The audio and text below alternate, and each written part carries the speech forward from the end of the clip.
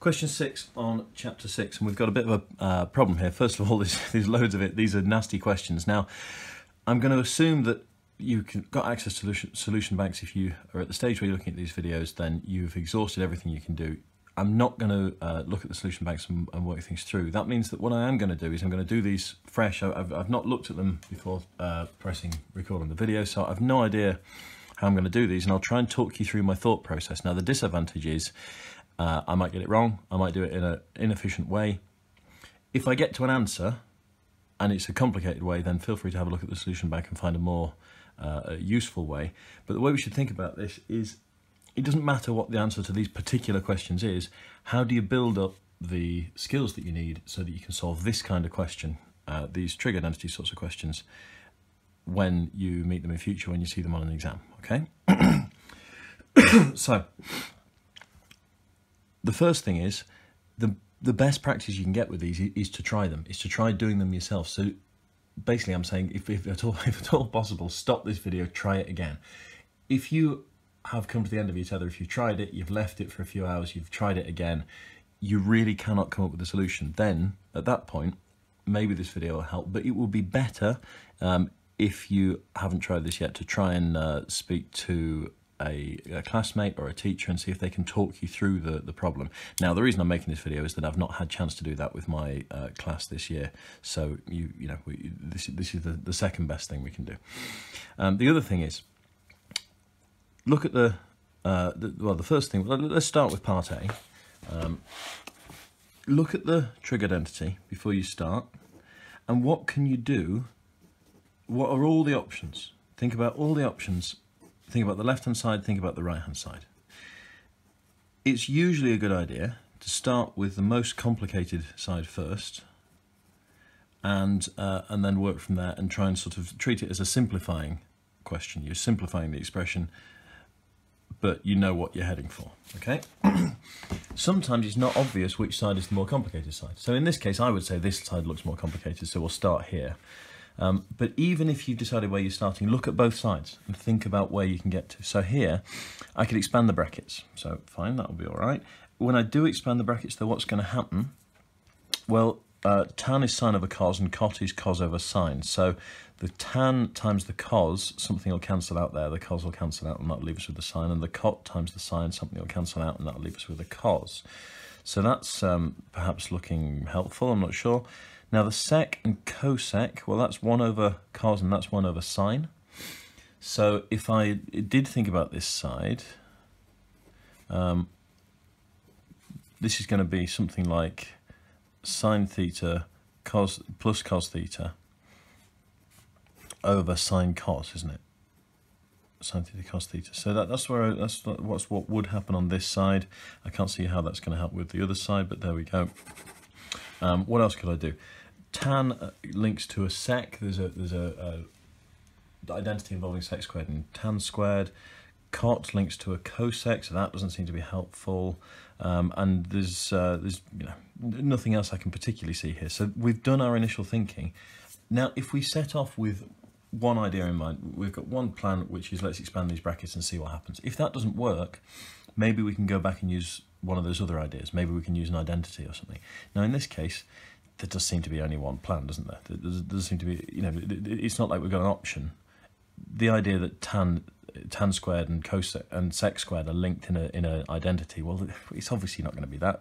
Why would we want to introduce sec squareds at this point? It doesn't seem very promising.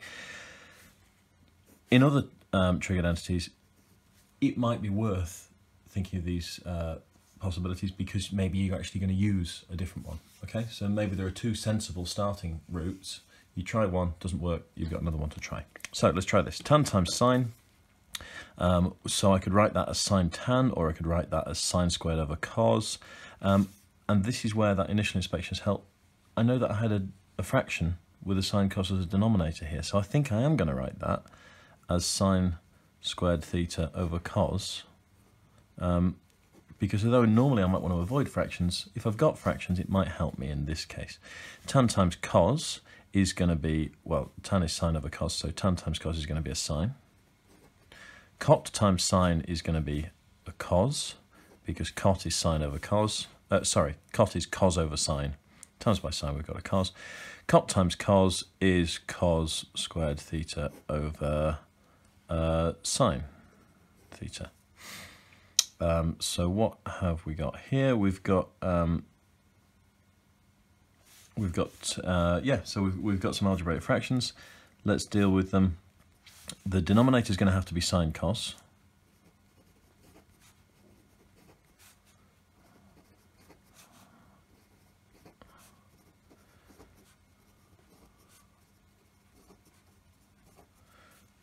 That's the lowest common denominator. So here I've times the top and bottom by a sine, so I'm going to have a sine cubed theta here. Here I've times by uh, sine cos, so I'm going to get sine squared cos theta. Looking, looking nasty, but there we go. Here I've times the top and bottom by um, sine cos, so I'm going to get a cos squared sine. And here I've times the top and bottom by cos, so I'm going to get a cos cubed. Um, so, my common denominator is sine cos. Um, let's see, I can take out a, ah, okay. So if I take sine squared out of the first two, I get sine theta plus cos theta. If I take cos squared out of the next two, I get um, sine theta plus cos theta. Okay, um, and then this is a, um, if I factorize this out, so I, I write this as sine theta plus cos theta times sine squared theta plus cos squared theta, all divided by sine theta cos theta. Okay, so um, this term, this part of the terms has been factorised out the front. Um, and if you're not happy with that, well, just expand these brackets back out and you'll see that that's where we get to. Um, so, not a particularly neat way of doing it, but look, from there, look, the sine squared plus cos squared equals 1, so we can ignore that, something times 1. And then this, uh, we can split up into sine over sine cos and cos over sine cos, which turns out to be 1 over sine plus 1 over cos. So, so basically, I'm recognizing this from that initial bit of thinking that I did. So all I need to do now is write down that, and write down that, and then write down that, and there's the end of the question. Perhaps not the neatest way of doing it. Maybe there's a quicker way in the, in the solution bank, but there's a solution. Um, okay, so part two, part B, uh, we have cosec. Now I won't go through all that initial waffle again, let's just try it. It looks to me like the left hand side is the more complicated. Um, but sec squared, I know there's a, uh, an identity with a tan, so um, I'm going to work that one out. Now the way I do this is like this, cos squared plus sine squared equals 1. If I want to make a tan, I'm, I'm going to have to divide through by cos squared, so that's 1 plus tan squared equals sec squared. So I never remember this one, I always have to work it out from that, but it only takes a second. So sec squared I could change into a 1 plus tan squared, so if I get 1 plus tan squared on this side, I know I'm alright. And also, if, if I find tan squareds, then that's perhaps promising. Cosec uh, is 1 over sine, and I've got a sine here. Um, it's a little bit worrying that cosec is 1 over sine, so I've got 1 over sine here, 1 over sine here. Um, but, well, maybe we'll have to cope with that. Um, if I turn the cosecs into 1 over sine, then I could maybe do something with uh, simplifying the bottom and then simplifying the top, do it as a, as a fraction division. And I can't see anything else helpful, so we'll start from there. Let's start with the left-hand side. The top is 1 over sine x. The bottom is 1 over sine x minus sine x. Um, I'm going to try and sort out that denominator. Um, it's going to be 1 minus sine squared all over sine when I just do algebraic fractions. Um, and now uh, this is the top divided by the bottom, so that is 1 over sine times by sine x over 1 minus sine squared and now I'm feeling a bit more confident. I've got the sine cancels with the sine. I get 1 over 1 minus sine squared, which is 1 over cos squared, which is sec squared. So again, that thinking about the tan squared didn't actually help me, but on another example it might do. Okay, um, now part C. we have 1 minus sine times 1 plus cosec. So as I'm looking at that, I'm thinking sine is 1 over cosec. So when I expand these brackets out, and I'm also looking at it now thinking, ah, difference of two squares. It's not actually difference of two squares, but it sort of feels like one, doesn't it? Look, we've got a, a 1 and a 1 and a minus and a plus. So, it, you know, if, if it, it looks sort of a bit difference of two squares E, um, there isn't a difference of two squares, but maybe when I expand it out, something neat will happen. So it's really tempting me to expand that out, but I'm going to follow my own advice. Before I do anything, I'm going to look at everything I can see and see what I can find out. I've got a cot, cot, uh, cos cot, well, and I'm going to remember that cot is cos over sine, so it's cos squared over sine is what I've got on this side. So if I approach something that looks like that, then that will be good. Um, and that's as much as I can see. So let's expand the brackets out. 1 plus cosec minus sine minus sine cosec. Well, sine times cosec is 1, isn't it? Uh, because cosec is 1 over sine. So the left-hand side turns into this. The 1 and the 1 cancel out, so I've got a cosec minus sine. And the only thing I can think of to do here is to do this. Um, not looking incredibly promising, but let's see what happens. 1 minus sine squared over sine. Ah, there we go. 1 minus sine squared is cos squared over sine, which is cos x over sine x times cos x, which is cot x cos x. So there we go. Wasn't looking promising, but we got there in the end. That was part C. So part D. Carrying on with part D, now you'll notice there's an edit just there, and that's because uh, when I did part D, I actually got it completely wrong. Now, I'm going to put up another video with me getting it wrong here, um, because it's quite helpful sometimes to see the thinking. Often when you read an answer in a textbook, it appears as though you should have been able to see stage one, then stage two, then stage three, and they should all be obvious, and they're really not. Um, and that's the point of me kind of going through these things on, on videos, uh, not having looked at them before. I haven't worked out the answers usually. Um, I'm trying to show you my thought process as we go. Um, so you can see my thought process, me getting it completely wrong if, you, if you're interested in seeing that on a different video. The thoughts of getting it wrong are the things that showed me the correct way to do it though. So if you're interested in seeing all this mess and how it all goes wrong and how I must have made an algebraic slip up and you know, firstly I had the wrong method, then I had an algebraic slip up. But all of that work led me to the correct method. So if you're finding the same, if you're finding you're getting them wrong a lot, that is the, the road to getting it right is through getting it wrong a lot. So uh, I'm going to look at it like this for part D. Cot x divided by cosec x minus 1. I'm just going to take that fraction to start with and I'm going to write it out uh, in this way. Now, I wouldn't have seen that this was the simplest thing to do. I am reasonably certain that this is a fairly efficient method now.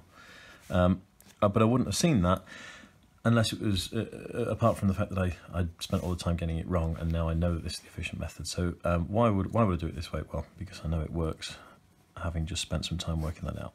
So um, that I can rewrite as this, just using normal uh, rules of fractions, if I've got a fraction divided by something, um, you know, think about it as a half divided by 4 um, is the same as a half times a quarter.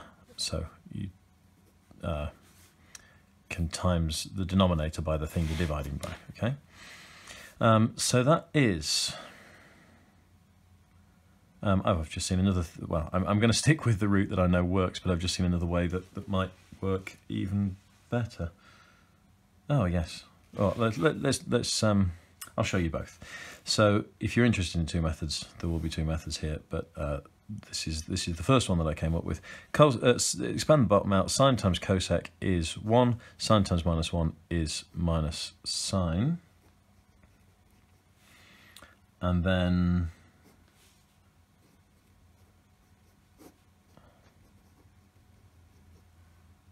ah, sorry, the, the, the other thing that I said I'd just seen, I think actually doesn't work. Um, so that, that fraction there becomes that fraction there. And then we had, uh, so the initial statement that we have in the question, we can write out like this. We've got this fraction to deal with as well. So if we take this, 1 minus sine, 1 plus sine, so I'm going to make uh, times this fraction by 1 plus sine. I'm going to times this fraction by 1 minus sine. Um, and then I've got 1 minus sine squared on the bottom. It's a difference of two squares for my common denominator. And I'm going to write 1 minus sine squared as cos squared straight away. Okay? Um, cos x times 1 minus 1 plus sine minus 1 minus sine on the top and the bottom becomes cos x squared.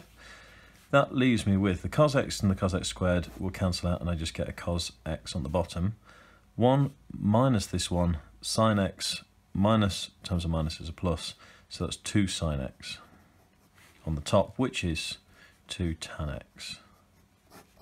Um, I'm going to leave part D there uh, because the, the thing that I mentioned halfway through thinking I've got a clever way of doing it, I just pa paused the video and the, the alternative method that I thought of as I was writing the solution out didn't actually help.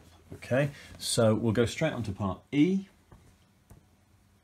Um, and we're looking at this cosec theta minus 1 oh, 1 over cosec theta plus 1. Now, as I'm writing that out, I'm looking, oh, cosec minus 1, cosec plus 1, that looks like a difference of two squares. So it's really asking to be put together as a common denominator of cosec squared minus 1. Uh, that might well help us. Um, what have we got on the right-hand side? 2 sec theta tan theta.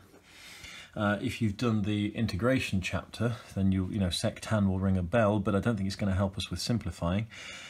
Um, and I know that sec is linked to tan by a, a, an identity involving sec squared and tan squared, but um, really there's a big hint here with the cosec minus 1 and the cosec plus 1, so I'm going to go for that.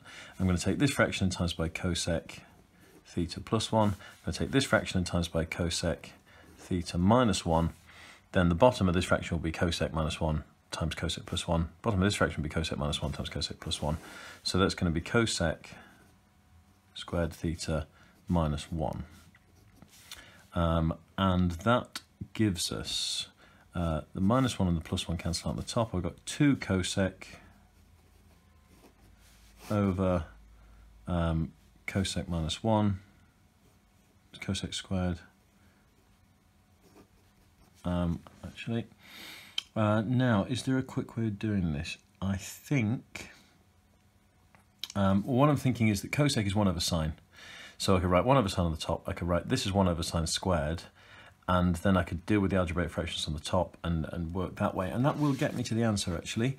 But um, let, let me just check, is there a quicker way? I know that sine squared theta plus cos squared theta equals 1. Um, so if I divide through by sine, I get 1 plus cot squared theta equals cosec squared theta. So cosec squared minus 1 is cot squared. So let's try this way. 2 cosec theta over um, cosec squared minus 1 is cot squared. Um, well, this is sort of looking promising, isn't it? So um, cot squared, well, if I write 2 cosec as 2 times 1 over sine, and 1 over cot squared I can write as a tan squared, can't I? Um, and then this is going to be, well, tan squared is sine squared. Uh, we're there, I think. We just need to do a little bit of writing to prove it. The sine squared cancels with the sine. So I end up, oh dear, I end up with sine over cos, which is tan. I've lost my sec. Oh, there we go. That, that should have been sine squared over cos squared. Um, so I end up with 2 sine theta over cos squared theta, which is 2 times 1 over cos times sine over cos, which is the same as the thing we were looking for. Brilliant. Okay, so moving straight on to f. Um, what are we looking at? I'm looking at uh, a very nasty looking left hand side and a nice-ish looking right hand side. So I'm going to start, I think, by trying to simplify the left hand side. And as I'm copying it down, I'm thinking, okay, I've got a sec minus tan and I've got a sec plus tan. So again, difference of two squares, right? So that's almost certainly going to be my first stage is to is to um, uh, expand those brackets on the top, and I got one plus tan squared on the bottom. And a cos squared is what I'm aiming for. Okay, so a cos squared is the same as a 1 minus sine squared. A 1 plus tan squared, um, that I think, um, if you remember the sine squared theta plus cos squared theta, equals 1. So if I divide everything through by sine uh, through by cos squared, sorry, I get tan squared theta plus 1 equals 1 over sec squared. So tan squared plus 1 is sec squared, so that might be helpful. Um, let's see. I'm going to expand the brackets on the top and I'm going to get sec squared minus tan squared. Um, 1 plus tan squared on the bottom is going to give me a sec squared. I think I'll take that. Um, and again, I'm looking, I'm heading for a cos squared. All right, so um, I can see a possible way forward here, which would be uh, to realise that sec squared is 1 over cos squared. So the top is 1 over cos squared minus sine squared over cos squared. So, well, let me write it down. So uh, 1 over cos squared theta minus sine squared over cos squared theta over, um, I'm going to leave the bottom as a sec squared at the moment, am I? No, I'm not. Um, 1 over cos squared theta for the bottom of my fraction, which is 1 minus sine squared all over cos squared all over 1, uh, and, uh, sorry, all over 1 over cos squared uh, and then the denominator is cos squared, the denominator is cos squared. For the, the, for the numerator here, the denominator here, they're both fractions and they've both got a denominator of cos squared. So in other words, um, this is 1 minus sine squared. If you need to then think, think of this as this fraction divided by this one, so flip this one upside down and times. 1 minus sine squared is what we've got, which is, of course, cos squared theta. So it looked horrible, but not too bad for part F. There we are, all done.